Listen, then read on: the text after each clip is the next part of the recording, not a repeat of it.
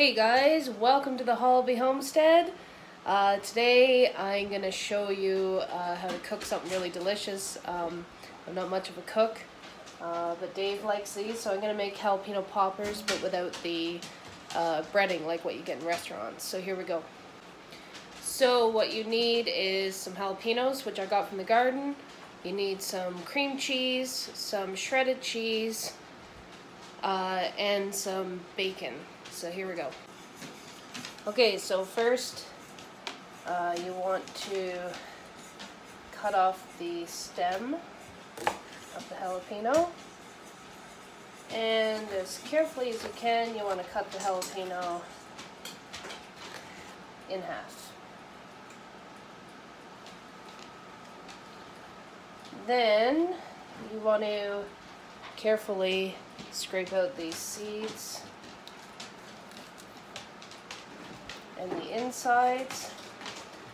Now, if you miss a couple seeds or some of the inside, that's okay. It's just going to be a lot uh, hotter and spicier, so uh, keep that in mind. So we're going to we're going to do that to all the jalapenos here. And then I'll show you the next step.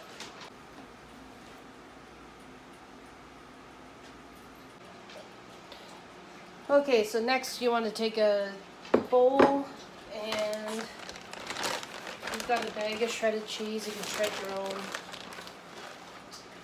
But you want to put some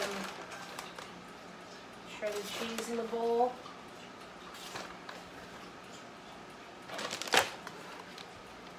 And you want to put some cream cheese in the bowl. So I left this cream cheese out for a couple minutes before I did this just so it was a little easier to mix um, because when it's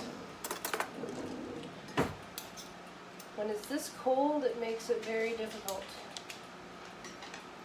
And it's still kind of too cold to do this but that's alright. So you kind of got to estimate how much cream cheese and shredded cheese you're going to use because all jalapenos are different sizes and it depends on how much you're making.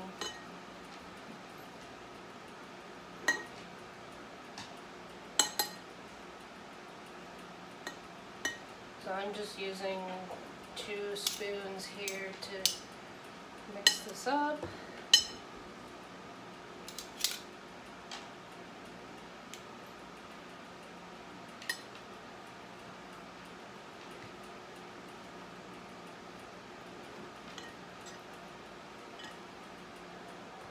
Okay, so this next part is a little tricky. So there's no real easy way to do this. I'm going to find a small spoon to do it. But what you're going to do is scoop up some of that cream cheese and shredded cheese and put it into the jalapeno.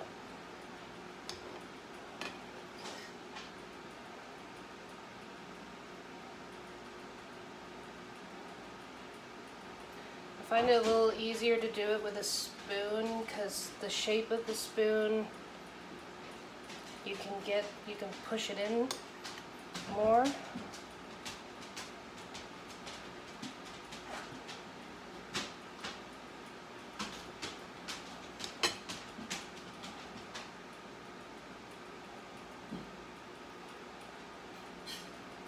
Sometimes if it's really being stubborn, then just use your fingers.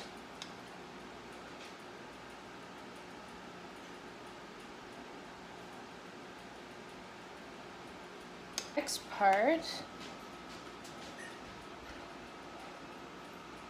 you want to take a strip of bacon and cut it in half. And then, there's no real science to this, but wrap it around and then put it on a cooking sheet with some tin foil.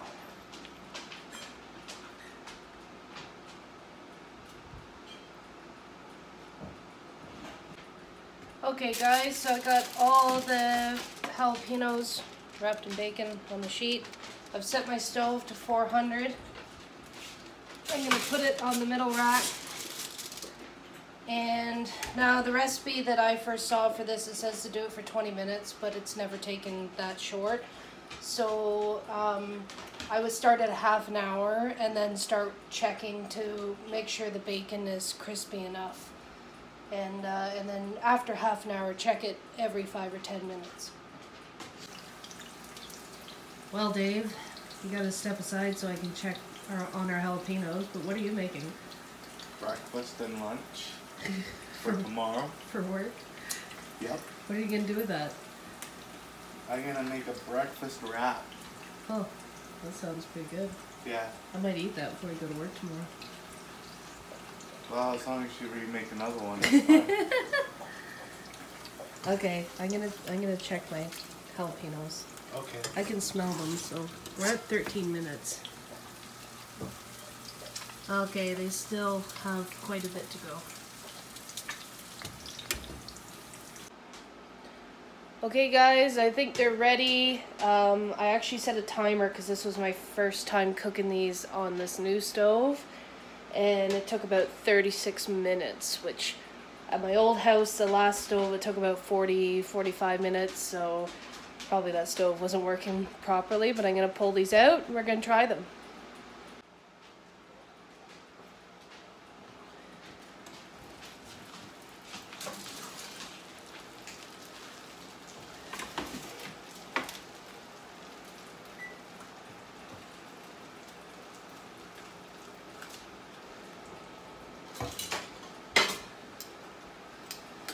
Now I suggest using a pair of tongs to uh, pull these up off the uh, off the cooking sheet.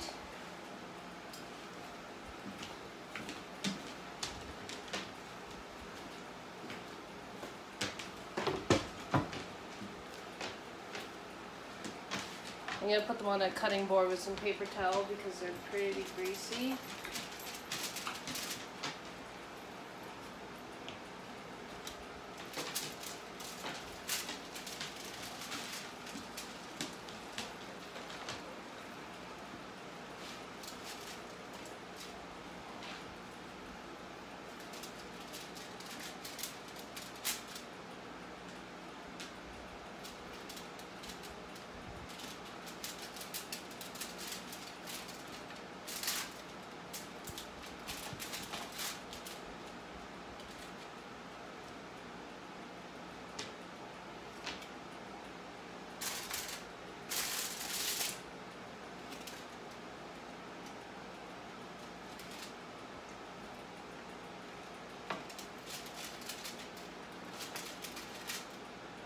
Now they are a bit difficult to get up off the foil.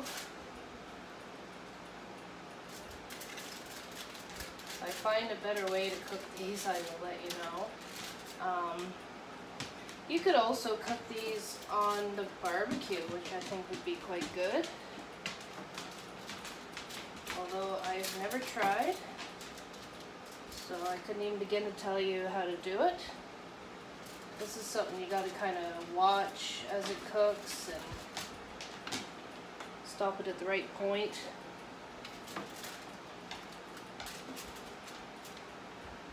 Mainly it's about how crispy you want your bacon.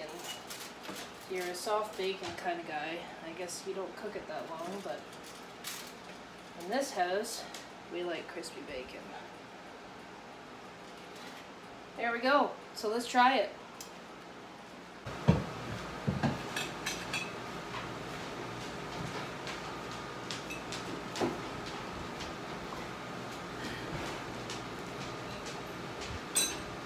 Are you the official taste tester?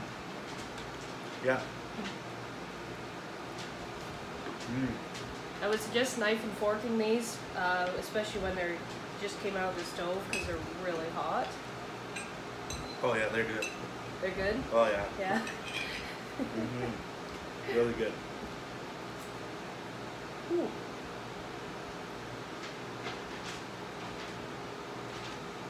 Hot in temperature and hot in uh, spice. hmm Mhm. Look good. It seems like when you grow your own jalapenos, they're definitely way hotter than the store, right? Uh huh.